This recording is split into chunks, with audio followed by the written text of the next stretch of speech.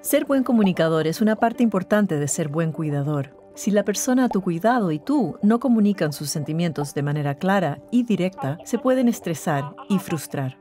En este video te mostraremos cómo una comunicación eficaz puede mejorar tu situación como cuidador y te daremos algunos consejos para ser mejor comunicador. Si te comunicas eficazmente con la persona a tu cuidado, ambos comprenderán los objetivos y necesidades del otro también garantizará que reciba la mejor atención posible, no solo de tu parte, sino también del equipo médico. Si hay algo mal, el médico podrá realizar un mejor diagnóstico y brindar mejor tratamiento si ambos pueden describir los síntomas con precisión. Estas son algunas formas en que puedes mejorar la comunicación con la persona a tu cuidado.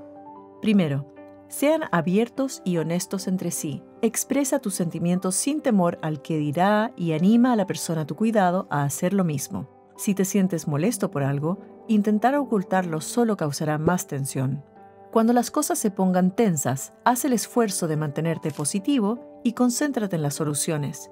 Si la persona a tu cuidado y tú discuten, intenta encontrar una solución buena para ambos y que nadie se quede con la sensación de haber ganado o perdido.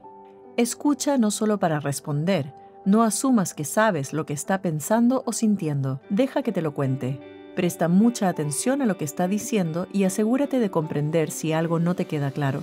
Sé consciente de tu lenguaje corporal durante las conversaciones. Cuando hablen juntos, ponte de frente y evita lo que llamamos posturas defensivas, como cruzar los brazos o cerrar los puños. No te encojas de hombros, no zapatees en el piso ni pongas los ojos blancos.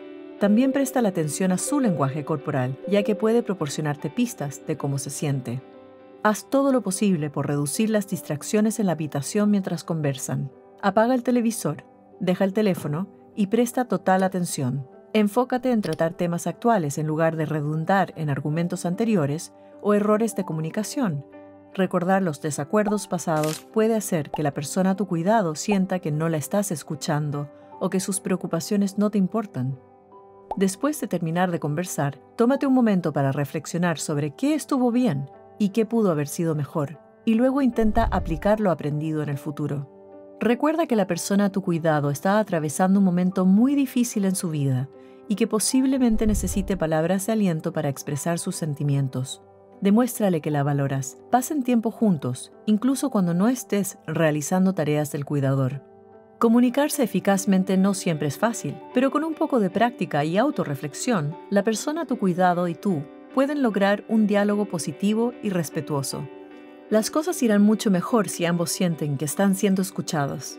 Asegúrate de ver nuestro sitio web para encontrar más apoyo y recursos para cuidadores.